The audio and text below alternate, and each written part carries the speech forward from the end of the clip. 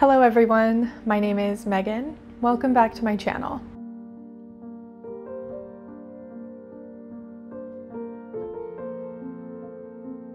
Everyone loves a good ritual bath, but what happens when you don't have a bathtub?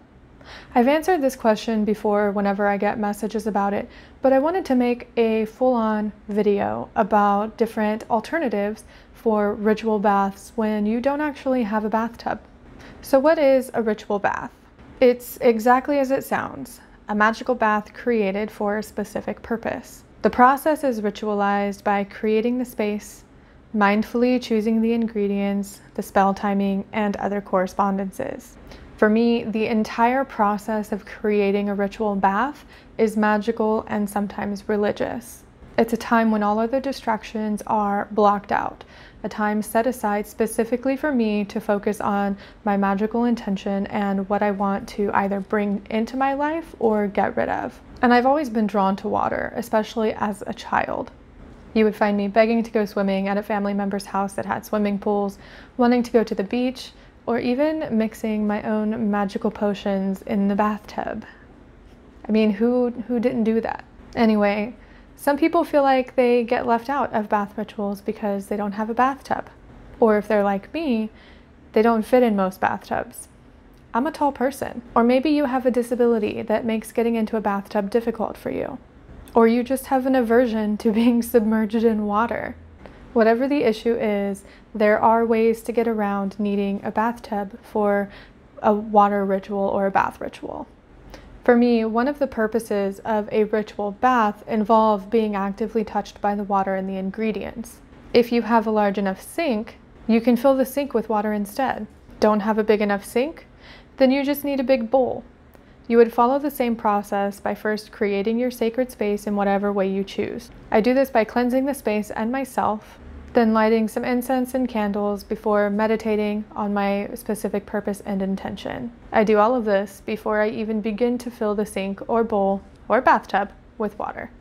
With the sink full of water, you can then set your intention, add your ingredients, and then charge the water with your energetic purpose. Then you get started. Dip your hands into the water, use a rag, whatever method you need to do to get that water to touch your skin. You can do this part with intention and purpose too, going either from the top to bottom to get rid of something or from bottom to top to bring something into your life.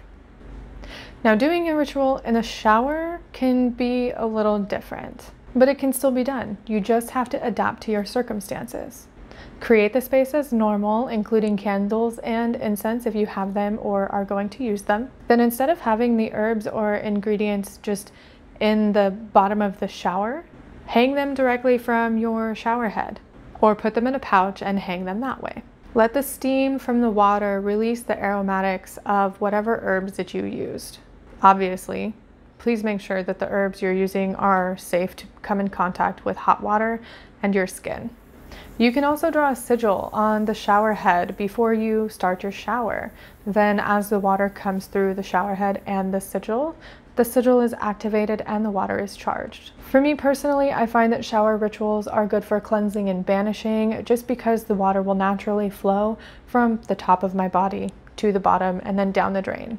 Now maybe you live in communal housing, dorm rooms, or you just don't want to fill the sink or bowl with water or take a shower. That's okay. There are alternatives for you too.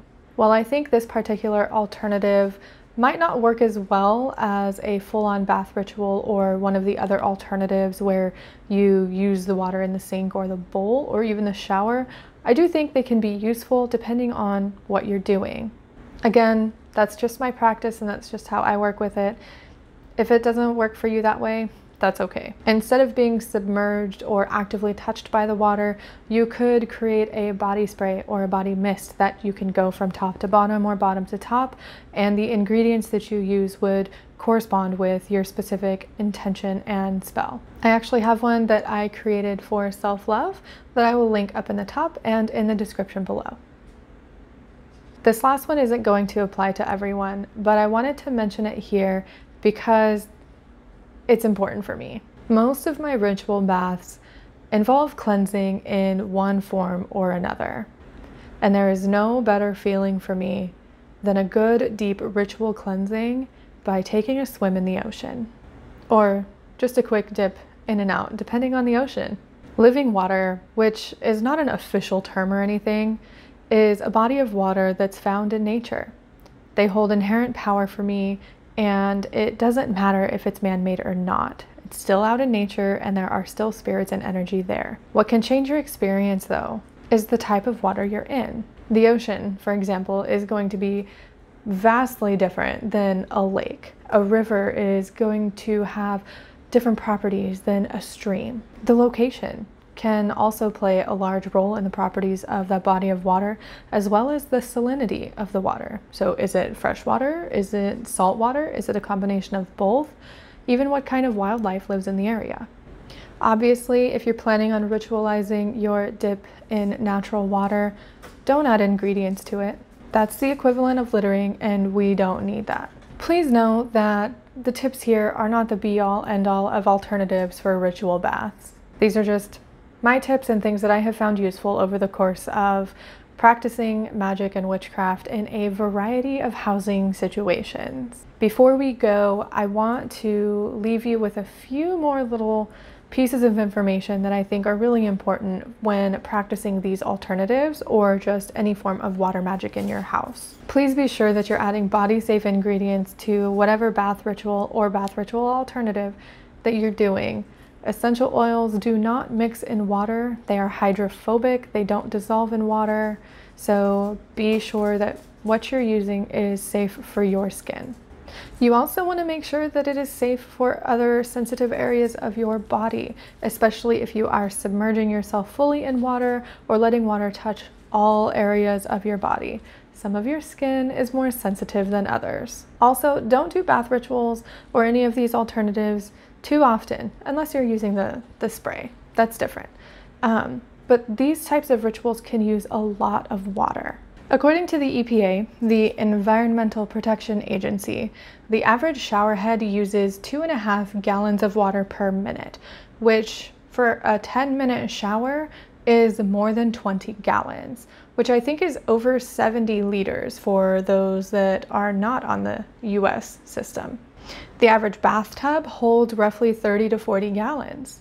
So if you do a ritual bath once a week, you're using a lot of water. And for the sake of being eco-friendly and sustainable and conserving our natural resources, I can't recommend that you do a ritual bath or an alternative that uses a lot of water more than maybe once a month. Lastly, if you're like me and you're on a septic system, which if you don't know what a septic system is, you're probably on sewer, so that's a little different.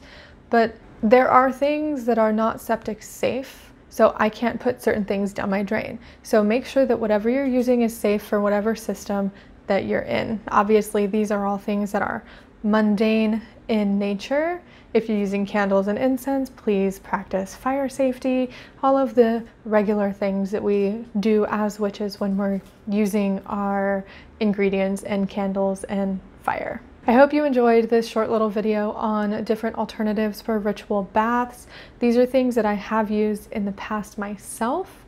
Um, I have lived in apartments, I have lived in condos and houses and places that didn't have a bathtub. So over the course of time. You just have to kind of get creative. I hope these alternatives have inspired you to maybe come up with your own. If you try any of them, please let me know in the comments below. And if you have any other alternatives that you would like to share, go ahead and leave those in the comments below too. And I will see you in my next video.